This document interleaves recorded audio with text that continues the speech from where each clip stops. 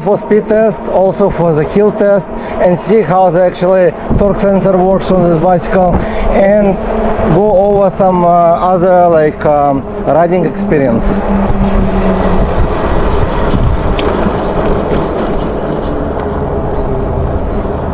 So as always I'll go to the same spot where I test all my bicycles and let's go so throttle only. It's about 13 on the GPS 15 on GPS on display 23 miles. 19 21 on GPS I'll go with GPS 21 on GPS 22 on GPS and display show me 28 miles which is not accurate. So basically it's going only 22 miles so far so the bike going about 22 miles. The GPS showed me like 28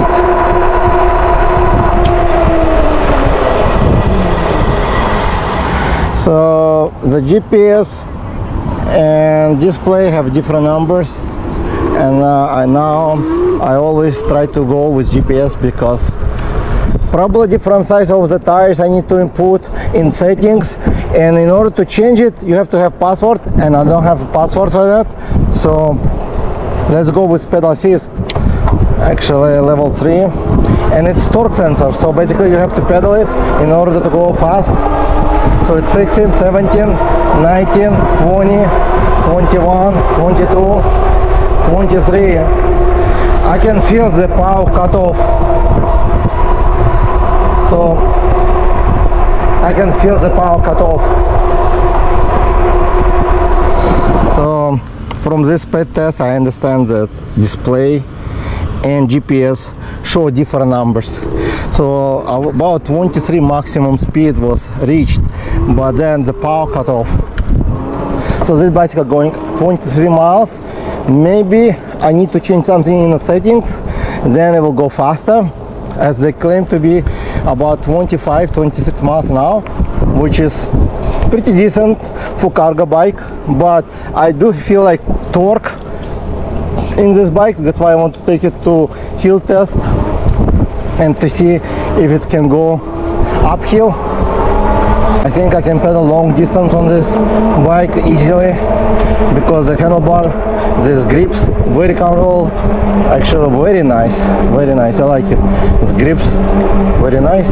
Um, so first pedal assist level is uh, 12 miles an hour and uh, I pedaling comfortably and I, I can feel the torque sensor. So if I just pedal like ghost pedaling it will not move like activate the pedal assist but when I push on the bike I can hear and I feel the motor kick in.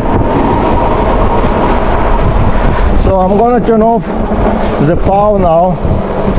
Uh, so basically to go pedal assist level zero and switching to probably yeah uh, G number four and pedal like a regular bicycle.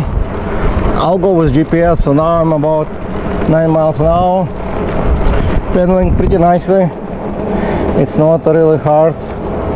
And if your battery is dead or if you want just to ride as a bicycle you can still do it. Yeah, the 7 speed. Now I'm on speed number 4 yeah, I can go number 3 will be even you have to pedal faster but it will be much easier. And yes you can use this bicycle as a regular bicycle the position is good. I think I have the seat too high for me right now so I can go even low if I want to or higher because the seat is, has enough space to adjust it. So let's go testing the brakes as well. So I'm gonna go to pedal uh, assist level 3 go around the corner here. And running is good. It's very good stable bicycle actually. The torque is kicking very well. So I can feel the torque really kicking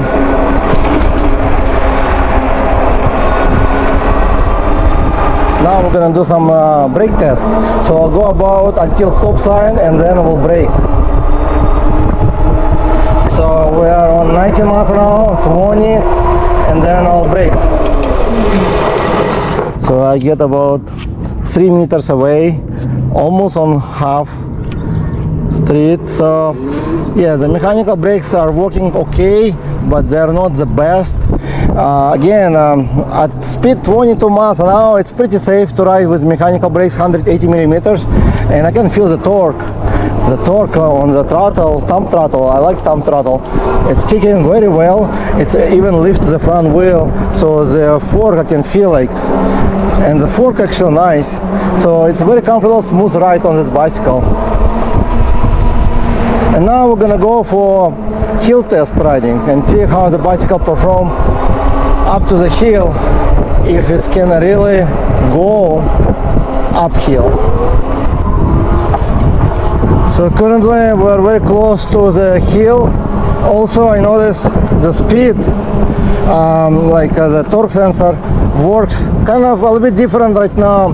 I am on penalty level 1 and I'll show you if I'm going like pushing harder it can go 11 if I push even harder it'll go to 17 miles 18 so basically up to the top on the pedal assist level 1 so regardless which pedal assist I switch it will still go to the top speed.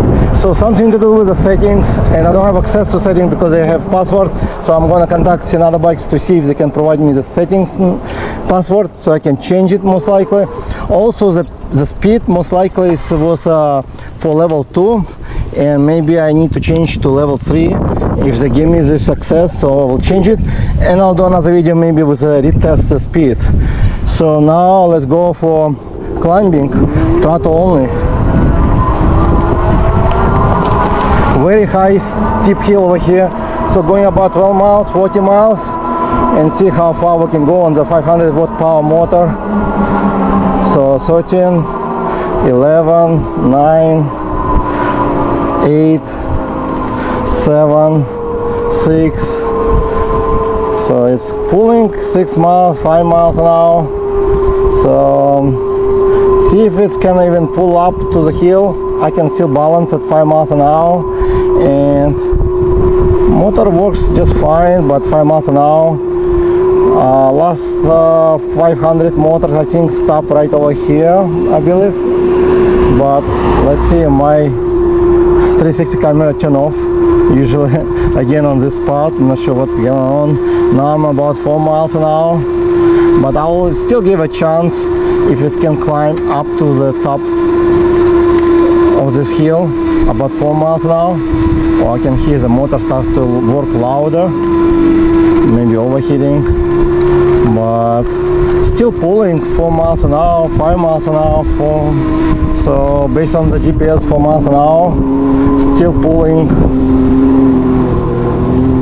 I'll give a chance to get uphill because many 750 motors would not get up to the top.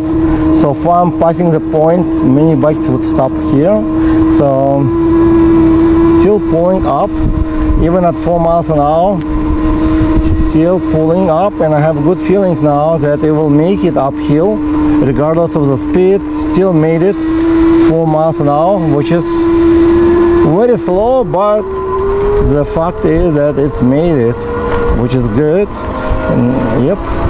So we're all the way on the top of this hill. Let me turn around so you can see the hill it's very steep. Very steep hill over here but it's made it uphill which is really great even the slow speed so the torque it's not it's working pretty good actually. All right guys so after the first speed test i find this uh, uh, display show different speed versus to gps so i contact Senada bikes. They gave me password code which is 1212 and to go to the settings and change the diameter of the wheel because the wheel was set to 29 inches which is incorrect. So I set up to 24 inches and see if the speed change and if it will be accurate. So I hope it will go up to the highest speed. So let's go for speed test throttle only and to see how fast it will go. I'll go with GPS again. GPS it's uh, 14 miles an hour 16 17, 19, 20, 21, 22, 23, 25. So far 25 miles an hour. On display showing me 27. 20, yeah. So it was solid 25 miles an hour. So uh, looks like um, I'm gonna try right now to change to 23 diameter and see if the speed change. Okay, so I change the settings to 23 inch diameter wheels right now and I'll go to the same road because they're usually different and see if it will get to 25 miles an hour and if the diameters of the wheel will make this uh, display more accurate with GPS. So let's go. And what's the top speed? So it's uh, gonna be 30 miles an hour on GPS, 16, 18 on GPS, 19, 20, 21,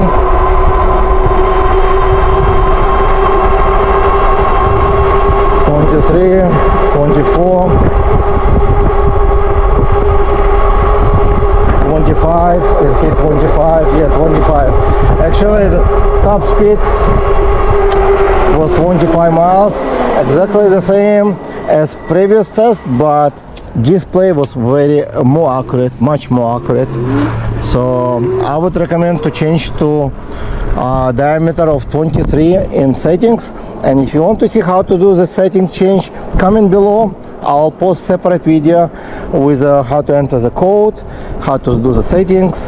I didn't tighten up very well handlebar so make sure you tighten up. I'm not sure if it's an issue with that uh, but you need to tighten up very well this handlebar otherwise it will move when you brake very dangerous. So make sure you tighten up. I did tighten up. It's supposed to be based on the new, new meter torque but it still moved. Also I don't want to give you wrong information like uh, yes the pedal assist level 1 2 3 useful. You can use all of them. And uh, the difference I'll give you again uh, so right now I'm pushing like softly. It's going 10 miles an hour. If I switch to level 2 with the same power I pushing not harder it will start to go faster. If I go level 3 it will go faster so I don't have to push harder. But it's all depend on your level of uh, exercise.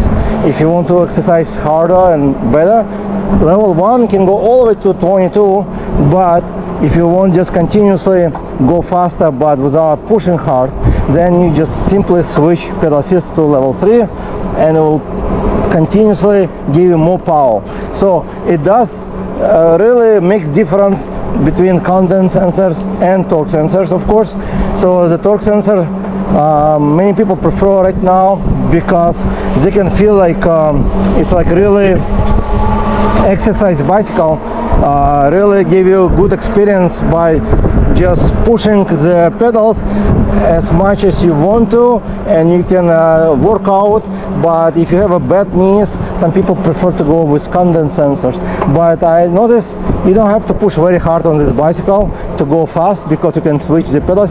So if you ask me which one I would prefer a torque sensor like or versus condense sensors um, I like actually throttle. It's very kind of power like gave you a good kick on this. But I prefer torque sensors uh, on this bicycle uh, versus the condense sensors for exercise. If you don't want to get exercise if your knees are hurts some condense sensor might be better. But again um, you get better experience on with torque sensors as a bicycle like traditional so you just pedal it. And the more harder you pedal then faster it will go and it will give you better assist. Also it will save more battery. So basically this battery will last longer versus the condense sensor because if you use only torque sensors it will give you more like uh, power as needed not just keep going because if you pedal with uh, condense sensors it will just keep going fast. With torque sensors like right now I'm pedaling only 7 miles an hour and if I push it it will start to kick in so basically I can still pedal without really hard pushing like almost ghost pedaling so it will be slow so that's a big difference uh, between condense sensors and torque sensors uh, I like both. Depend on the bicycle and depend what I need from. But mm, it's become very popular right now. Torque sensors, and again, it's a great bicycle. Just um, great for new like new person who never rode an electric bicycle because the difference once you start to ride it it will give you more power as you need it when you push the pedals. With content sensor it will just kick in regardless of how much you push on the pedal. And uh, I think it's much better for people who never rode electric bicycle to use torque sensor because torque sensor are a little bit smoother ride and better and that's about it for today. I like this bicycle so far. Thank you guys for watching and I'll see you in the next video